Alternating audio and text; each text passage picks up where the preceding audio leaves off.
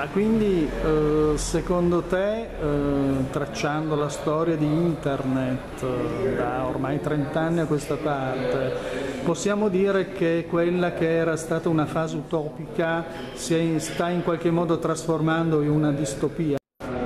La disillusione successiva a questi eventi in realtà sta avendo praticamente un effetto molto negativo, che è quello non di giustamente avere un atteggiamento critico rispetto a questi strumenti, ma distruggere tutto, cioè buttare via tutto, anche le cose positive, mentre invece le possibilità che offrono uh, le possibilità di media di essere utilizzate in funzione del contropotere sono ancora gigantesche. Io infatti concludo il mio libro parlando di un capitolo che si chiama Infinite Creta, nel quale sono appunto a, a far passare questo messaggio. Purtroppo ora c'è una deriva disfattista e di pessimismo assoluto, per cui addirittura um, si, si, parla della necessità di ritornare a uh, contatti diretti, piccoli gruppi, eccetera, eccetera. Io trovo che sia sbagliato, così come era sbagliato prima enfatizzare eccessivamente il ruolo salvifico della tecnologia. Non solo, la tecnologia offre uh, opportunità e uh, bisogna capire come sfruttare queste uh, opportunità, consapevoli di quali sono i rischi ha. Diciamo, da questo punto di vista io non la vedo negativamente, la vedo positivamente il diciamo, Wikileaks, Datagate, tutti questi scandali, perché creano consapevolezza. Sì. E estendere questa consapevolezza oltre alla ricerca stretta, alla cerchia ristretta dei, degli attivisti, di quelli che sono impegnati, è uh, per me molto positivo. Quindi possiamo in qualche modo eh, pensare positivamente comunque rispetto al futuro della rete e a tutte le, le discrasie che in questo momento stanno emergendo. Diciamo allora, per me quello che è l'atteggiamento che ho sempre provato uh, ad avere io e l'atteggiamento che apprezzo uh, molto è quello di, uh, oggi per esempio presentiamo Lovin che è uno degli iniziatori di questo tipo di, di approccio, la teoria critica di internet, avere un atteggiamento critico, quindi stare dentro ai media, utilizzare eh, i media conservando sempre un livello di attenzione critica rispetto a...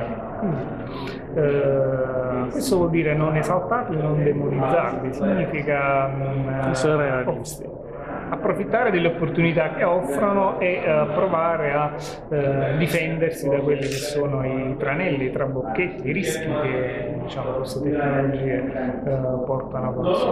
Um, il lavoro di, di, chi fa divulgazione è quello di creare consapevolezza, quindi creare consapevolezza su, guardando in maniera critica i media, creare consapevolezza su quelle che sono le varie sfaccettature di questi media.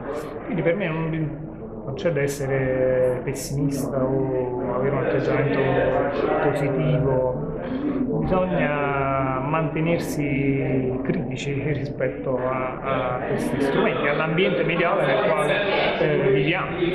Ma per me è un'esigenza naturale, non è un... Del resto è quello che era necessario fare di fronte a tutti i media nuovi, dalla radio al cinema alla televisione fino ad oggi. Poi è chiaro che i media, voglio dire, nel, nel, diciamo, uh, alcune cose si precisano nel corso del tempo, si capiscono nel corso del tempo, quindi magari negli anni 90 quando si parlava di, non so, l'ED parlava di cyberdemocrazia, eccetera, eccetera, beh, oggi a rileggere quelle cose rimaniamo un po' così, però lui, lui ci parlava di quelle che erano le potenzialità dialogiche del, uh, di questi nuovi uh, mezzi di comunicazione. Oggi che quelle potenzialità dialogiche sono state tradite, ma sono state tradite nella pratica per il fatto che la gente non le utilizza per dialogare, ma per, eh, diciamo,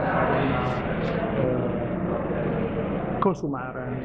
Per consumare, per dare espressione di sé, diciamo, delle autorappresentazioni, ma molto poco per dialogare, è chiaramente qualcosa che noi oggi c'è, tutto molto chiaro, ma negli anni 90 non ci sarebbe sì, stato altrettanto certo. chiaro. E quindi voglio dire, e, ehm, Loving dice una cosa interessante, facendo teoria dei nuovi media noi eh, lavoriamo contro il tempo, siamo continuamente superati.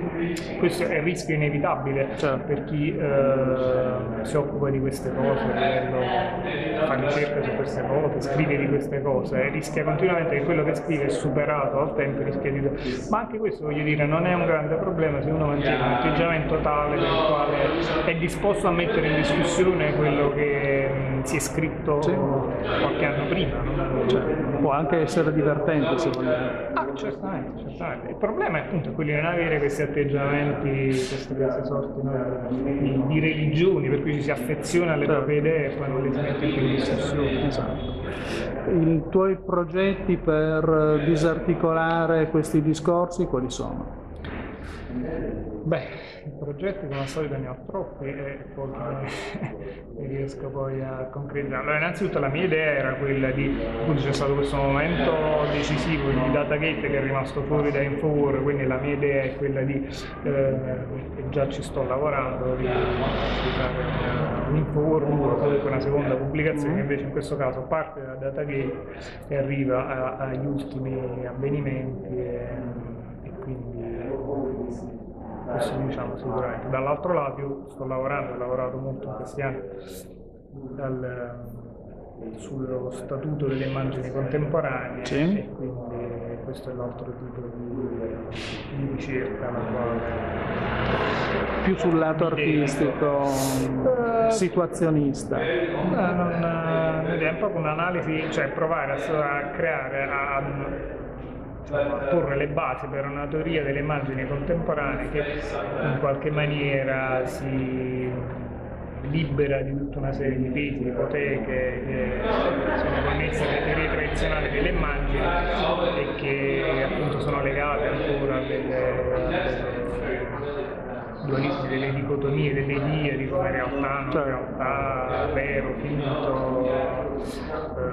immagini fisse, immagini in movimento. Mi sembra che oggi il panorama eh, delle immagini contemporanee è cambiato, abbiamo le conoscenze per affrontarle in maniera differente, quindi possiamo cominciare a pensare a una teoria delle immagini differente. Certo. Bene, ti ringrazio e a questo punto andiamo a sentirci Get Lore Long. Grazie.